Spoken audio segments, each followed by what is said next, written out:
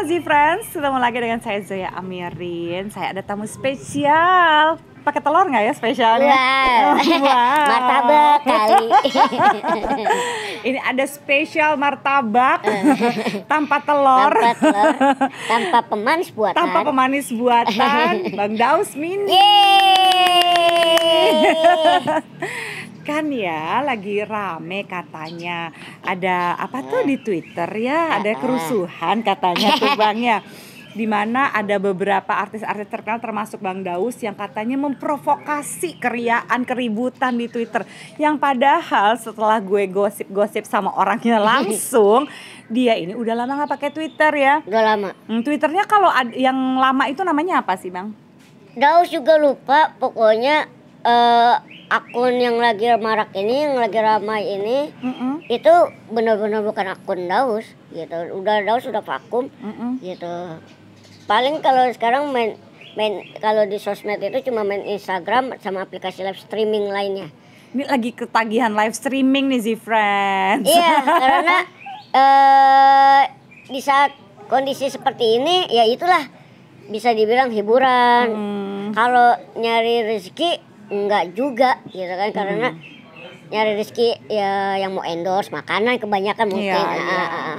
yang mau preview gitu kan itu baru kita terima paling kayak gitu-gitu sisanya sih hanya istilahnya itu menghibur viewer, menghibur fans. Mm-mm. Yang notabene kan kata mereka udah jarang nongol di TV, ya kan, udah nggak laku, ya Udah nggak laku padahal sih ya kangen aja bilang aja kenapa sih nggak usah bilang Nggak, gitu eh, ya. munafik war memunafikun orang-orang kayak begitu iya, gue juga banyak yang selalu em, mikir gitu ya. Hmm. Ah Mbak Zoya udah lama nggak di TV, pasti Mbak udah nggak laku ya udah tua sih. Like, Nah. eh, oke. Eh, eh, terus apa kabar dengan mbak-mbak yang di luaran sana ya kan Ah. dengan seksologi yang lainnya ya kan daus mini daus mini yang lainnya Kayaknya nggak segitu juga ukuran kita ya, Eh, eh. gitu. Laku apa enggaknya kan bukan cuma dari masuk TV atau Nah. enggak gitu ya. Nah terus kan kalau kita mau ngomong tentang dunia televisi dan segala macam nih ya, Mang Daus kayaknya gue harus belajar banyak nih dari seorang Daus Mini ini. Right. ya kan body shaming tuh luar biasa banget Iya. gitu ya. Kalau perempuan zaman sekarang kalau lu badannya nggak tipis kering ya, rambut lu nggak Hmm. lurus Hmm. dan hitam panjang Hmm. gitu ya. eh, itu kayaknya lu nggak pantas hidup gitu dunia ini.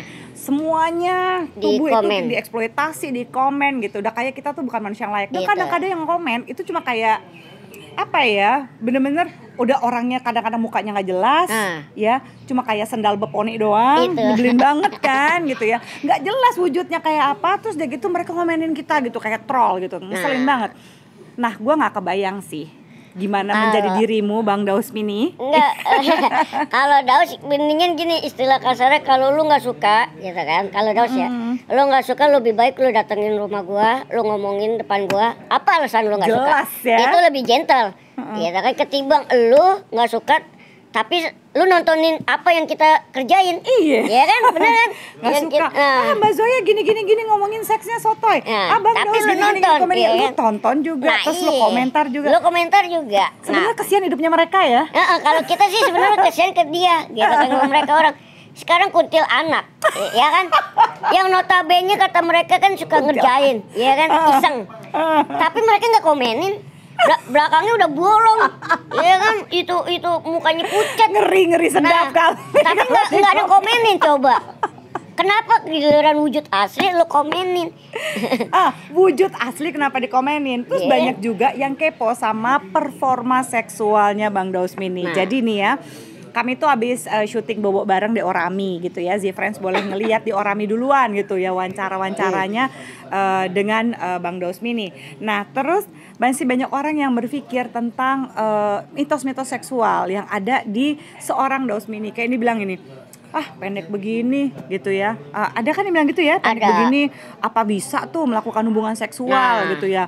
Apa bisa tuh eh, apa namanya? Jangan-jangan kelaminnya juga nggak ada lagi tuh kecil lagi kayak Hmm. anak-anak dan sebagainya. Teh ternyata istrinya bahkan mantan istrinya baik-baik aja baik-baik ya. aja kita tidak apa ya tidak permasalahan yang namanya hubungan seks Hmm. gitu kan baik mantan maupun istri gitu gitu kan. Performa seks tuh nggak pernah seks nggak ada masalah. masalah kenapa jadi lu yang ribet kan nggak mungkin saat kita berhubungan nih eh eh eh, eh, eh netizen ya kalau Daus sama bini lagi main kan nggak mungkin gue ngajak lo ya kan? Eh sini deh lu ngintip deh gue lagi main. Kan nggak mungkin.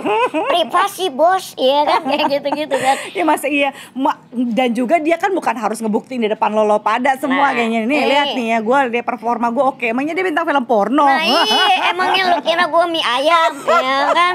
Dan juga kakek Sui Suyono. Sugiono itu ya, ya, heboh banget sih. Eh, ya kan nggak mungkin kan? Gitu. Jadi eh apa ya? Itu sih kalau menurut gue mereka itu iri gitu loh. Hmm. Dengan dengan apa status kita berdua gitu. Hmm. Mungkin yang ngiri-ngiri itu adalah merasa bahwa eh badan gue normal ini gue tapi nggak bisa dapat istri secantik Daus Nah, itu kayak gitu-gitu mbak. Wuhui, gitu yang ya. akhir, eh, eh, yang akhirnya mereka jadi pelampiasan ngatain body swimming, ya kan? Hmm. Ah, cuma pengen pengen ngetope doang, pengen duitnya. Akhirnya pelampiasannya komenannya seperti itu. Artis juga kan manusia. Iya. Ya kan sama kayak mbaknya Sosiologi juga kan manusia Gitu Jadi ya sama-sama Bukan berarti boleh dilecehkan, Ah, bukan berarti mesti digampangin gitu ya. kita saling menghargai, saling oh. menghormati profesi masing-masing, Mm-mm. body orang masing-masing. Ntar lu, lu dadanya rata lu bilang itu ceplok telur ya, nggak ada isinya. Eh, apaan bae lu komenin? Ah isinya busa tuh gede doang. Iya, mak- Iya kan? Iya, salah aja. Salah aja. apa sih yang normal apa sih yang sehat kayaknya Ah. kalau mau ngikutin maunya orang gitu ya jadi agak susah nah pernah nggak ya di di ranjang nih ya waktu lagi awal-awal mungkin pernikahan pertama Hmm. gitu ya masih orang kan komentarnya masih uh ampun deh pasti dalam proses itu tuh bang Daus. Pernah nggak sampai kepikiran kata-katanya orang waktu lagi sampai ngeganggu performa seksual tuh pernah nggak sih? Pernah, pernah. Akhirnya kan Iya, gara-gara kejahatan mulut Nah, orang ya. akhirnya dari mulut-mulut mereka kayak Daus sih ngambil ya mungkin itu doa dia gitu kan. Katanya kalau badan seperti Daus itu tidak bisa punya anak. Ya kan, tapi Buktinya? eh, Tuhan berkenak lain, ya kan gitu. Tuhan punya mau, bukannya lu punya mau. Nah, lu bisa komentar. Tapi kalau Tuhan udah kun payakun, ya kan Allah udah kun payakun terjadi terjadi mau gimana loh. Gitu. Makanya kelar lu semua lah kan hidup lo makanya kayak gitu-gitu akhirnya terus di situ ngebuktiin bahwasanya eh, berdoa ya kan nggak lupa gitu kan daus ibadah terus berdoa. Ya Allah ya Tuhan gitu kan. Tolong tunjukin kekuasaanmu di hadapan para hater para netizen yang komen bahwasanya orang bertubuh daus tidak bisa punya anak tidak bisa punya yang namanya momongan. Akhirnya terbukti kemarin kan Babang Ical ayo punya anak kan Iya. lo bilang bukan anak gue lo emang lo tadi ngeliatin gue bikin masa iya juga harus tes DNA segala Nah, gitu sih iya. sih Eh, kayak kayak gitu gitu Tapi sampai segitunya ya ditanya ini tuh Ah, ah, Mbak. jangan anak punggut apa Ah, segala ah, macam. ah, ah. kok mukanya nggak Ucok mirip baba juga anaknya banyak. Nah, mbaknya juga tahu. Ya maaf ya Iya. secara secara bukannya gimana ya, mohon maaf lahir batin ya gitu kan. Body apa secara fisik kan Bang Ucok sama Daus masih tinggian Daus. Hmm. Tapi alhamdulillah tuh Bang Ucok dia punya beliau punya keturunan gede-gede gitu kan. Semua anak-anak Eh, udah, eh, udah udah ini ya. Udah kuliah, sekarang Oh, ada kuliah, Biasa aja. sekolah. Itu biasa aja. Karena itulah manusia sifatnya iri dengki.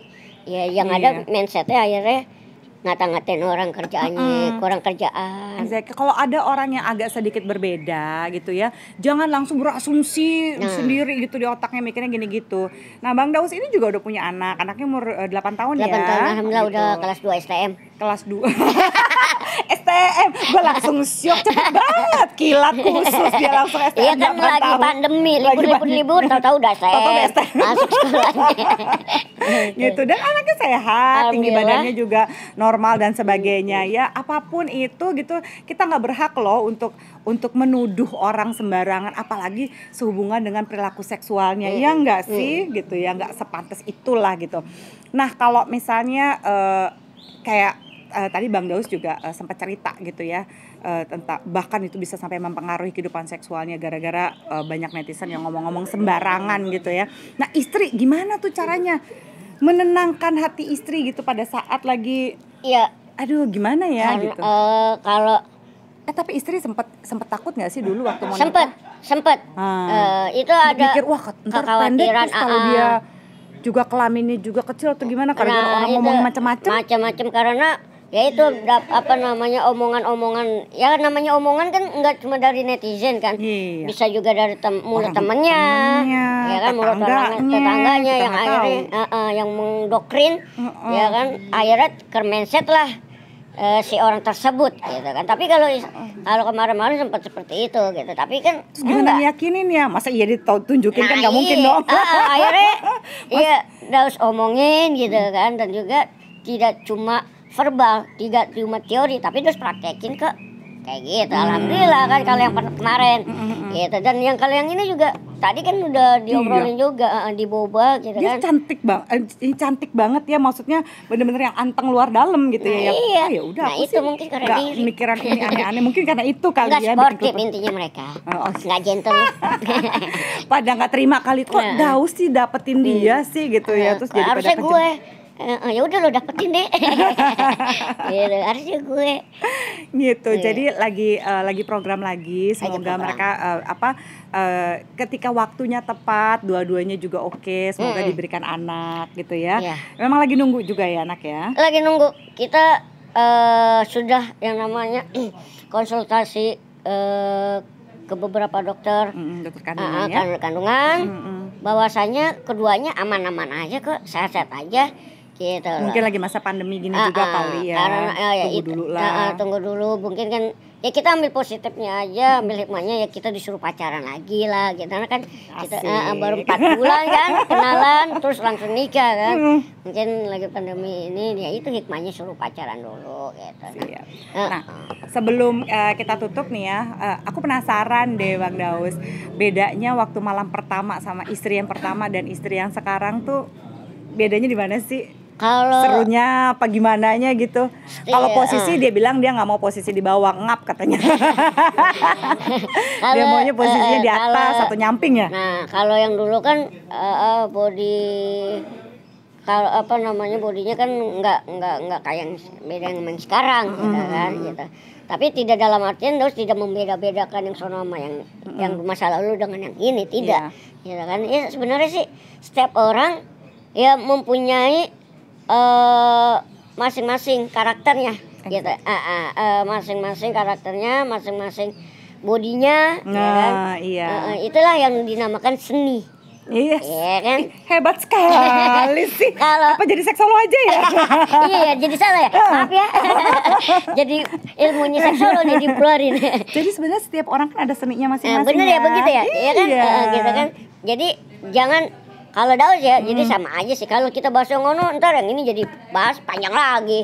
Ribut jadi sama aja. Jadi gini, nah ini kenapa saya mesti tanya begini sama Daus Karena masih banyak laki-laki yang bertanya di channel saya nih ya Z-Friends Yang masih nanya gini Mbak Zoya, gimana sih cara memuaskan perempuan?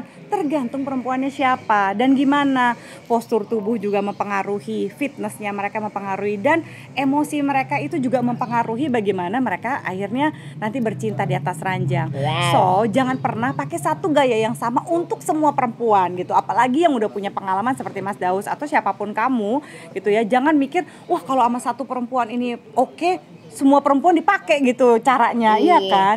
Semuanya tuh ada seninya Ada kalau kata Bang. Daus Mini. Iya, anak kancil di atas mobil jeep biar kecil ujungnya lancip. Maksudnya ujung pemikiran. gua nempel di otak gua ya. Maksudnya ujung pemikirannya lancip gitu. Jadi kita kita harus paham dengan ilmu eh, kita lagi bergaul dengan siapa? seksologi, eh, eh, kita harus Hmm. paham dengan ilmu seksologi. Jadi sebenarnya kembali lagi pada bagaimana cara kita mempersepsi ya kan kalau Iya. misalnya Daus dan istrinya Daus ini sangat-sangat caring loh sama istrinya. Mereka kalau habis melakukan hubungan seksual, mereka melakukan evaluasi loh Z friends. Mana yang enak, mana yang enggak, mana yang bisa diulang gitu ya. Nah. Mana yang dicobanya sekali-sekali Oh. aja. Uh, asal jangan buat anak kecoba-coba. Mana coba-coba gitu. Jadi jangan yang sombong merasa punya anak banyak terus kehidupan seksnya udah pasti oke yang bisa bikin anak belum tentu bikin enak sih Nah. friends hati-hati gitu. Nah, evaluasi dan ini sekali lagi ya jangan pernah mempersepsi sesuatu hanya karena dari bentuk tubuhnya orang lalu memberikan body shaming pada Nah. orang it's not Stop. nice. Oke, stop body shaming. Ya, ternyata kehidupan seksnya Daus Mini oke-oke aja. Mungkin ada yang ngerasa karena ngerasa uh, tubuhnya itu normal normal aja semuanya normal bahkan show off ya. Waktu itu saya bikin video tentang ukuran uh, penis tuh semua laki-laki pada ngasih tahu ukurannya ke saya. Saya nggak mau tahu lagi sih friends please deh gitu ya. Iya. Kirimin. Ya ada yang dikirimin Wow. ada yang pakai Guys. nulis-nulis norak banget ya aku Ih. blok lah ngeri kan ya Jadi mau. kirimnya ke daus aja jangan ke Eh, aku ya. jengong. please kirim ke daus aja jangan ke gue Jengong. jengong. Kalau laki jengong ya. Kalau perempuan nggak apa-apa. nah bininya nengok tuh langsung tuh tuh tuh, tuh. gitu oke thank you banget sih friends thank you banget bang daus mini Iya, sama-sama. Senang sekali sampai ketemu lagi di episode episode berikutnya. Bye bye